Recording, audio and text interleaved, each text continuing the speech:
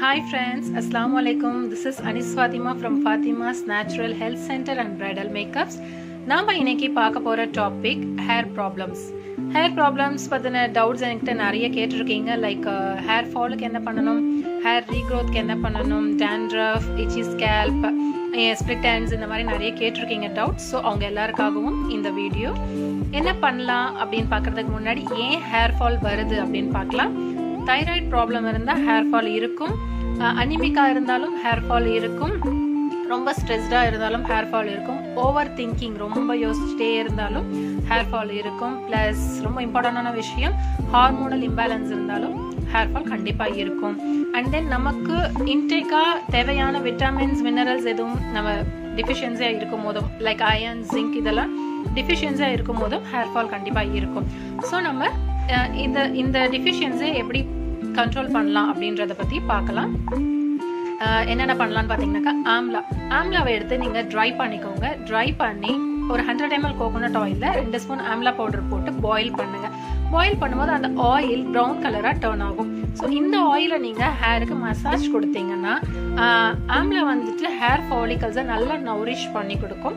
So இதனால் உங்களுக்கு hair fall control ஆகும். This is home made amla oil இந்த ஆயிலை நீங்கள் அப்பப்போ பண்ணி தான் நீங்கள் போட போட்டுக்கணும். நீங்கள் ஸ்டோர் பண்ணாதீங்க இந்த ஆயிலில் ஸ்டோர் பண்ணுறதுனால அதோட குவாலிட்டி குறைஞ்சிடும் ஸோ ஃப்ரெஷ்ஷாக நீங்கள் ப்ரிப்பேர் பண்ணுங்கள் வார்மாக இருக்கும் போதே அப்ளை பண்ணிக்கோங்க.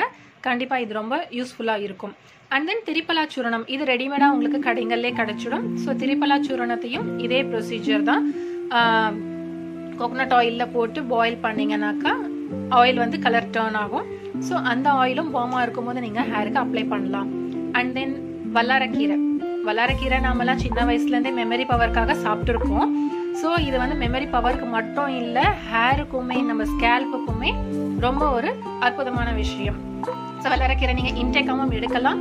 ப்ளஸ் ட்ரை பண்ணி காய வச்சு லைக் பவுடர் பண்ணி கொக்கனட் ஆயிலில் போட்டு பாயில் பண்ணி ஹெட் மசாஜ்க்குமே யூஸ் பண்ணலாம். நெக்ஸ்ட் என்னன்னு பார்த்தீங்கன்னாக்கா ஃபெனோக்ரிக் வெந்தயம். வெந்தயம் ஒரு ரொம்ப அற்புதமான விஷயம் ஹேர் ரிலேட்டடாக எடுத்துக்கிட்டிங்கன்னா. வெந்தயத்தில் நிறைய விட்டமின்ஸ் இருக்கு மினரல்ஸ் இருக்கு மெயினாக ஃபோலிக் ஆசிட் இருக்கு. ஸோ இந்த வெந்தயத்தை நீங்கள் நைட்டே ஊற வச்சுட்டு மறுநாள் காலையில் அரைச்சி பேக்காக யூஸ் பண்ணலாம்.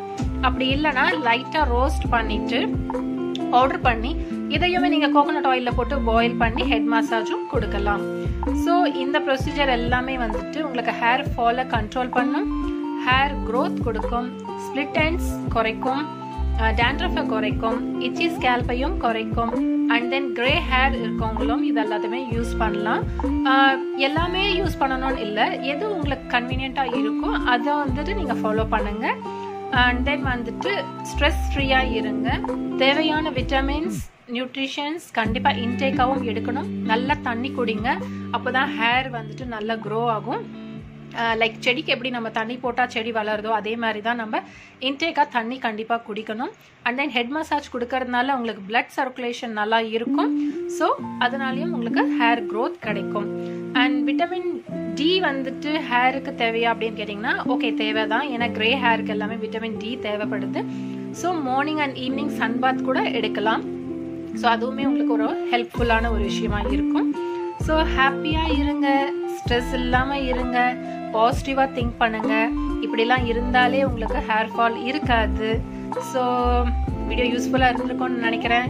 And thank you so much for வாட்சிங் தேங்க்யூ பாய்